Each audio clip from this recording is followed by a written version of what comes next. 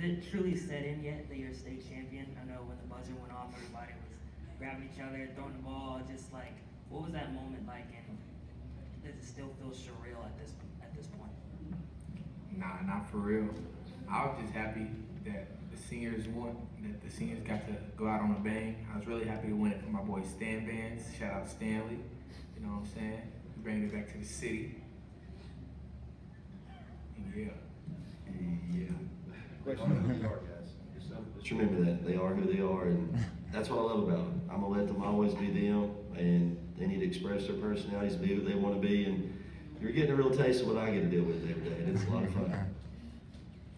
Uh, Coach, we talked with regards to your previous questions about mental toughness and, um, you know, dealing with things that have been dealt before when times get tough. Um, Warren Central had had comebacks in each of their three games in the second half.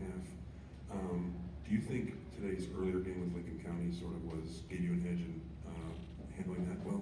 Know, I'm a little coaching. Focus that. Come on, this is the last one, this is your last interview for a little while. Let's focus, let's make it a good one. Still coaching, you know what I mean? Um, they, yeah, so the past few games, they definitely, third quarter is tremendous runs, tremendous runs. And they made a run in the third quarter on us again. And, you know, it's a, it's a belief of what they do. They, they, you know, they run that offense over and over and they screen and turn. And they're waiting basically for you to make a middle mistake. And when they do, they, they get confidence off it and they start going and start playing.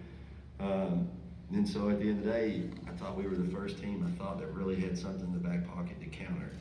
And then when we made a run back, he put us back in the situation we needed to be. And so, um, but credit to them, they're man, they've had to go through the tough road to get there, and uh, they're a heck of a basketball team. You know, and they got all kinds of guys that do a lot of good things, and their coach does a great job. So credit to them uh, for, for being in that situation. Hang on, guys, we're gonna let the, what Jason got one? Hey, that was a pretty gutsy pass you made to Trent on that alley oop there toward the end. You got that three point play. You know how much you remember it. Just curious what you saw there, if you had any hesitation there.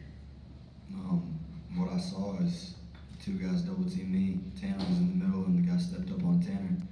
And there's nobody back there with my athletic six eight big man. So I just threw it to the sky, and I knew he's gonna get it because he's been doing it for the last two seasons. So it wasn't that gutsy. It was just what we do. On that note, I think let's let these guys get back to celebrate with their teammates. Coach, congratulations on a wonderful state. Hey, God bless y'all. Thank y'all so much. Yeah, thank y'all. You know,